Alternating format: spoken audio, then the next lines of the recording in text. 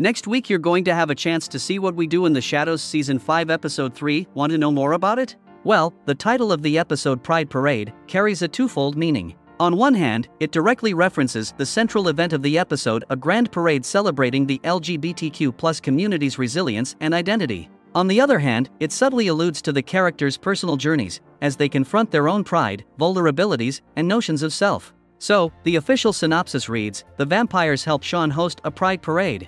Nadja helps her doll achieve a long held dream. We should go ahead and note that this episode promises to bring a fresh and delightful twist to the already hilarious and supernatural world of what we do in the shadows. As the vampires navigate the colorful chaos of the parade, we can expect their individual journeys to intersect with the spirit of the event. Through humor and unexpected turns, we'll witness the impact this extraordinary gathering has on our beloved characters. What do you think and most want to see in this upcoming episode of July 20th?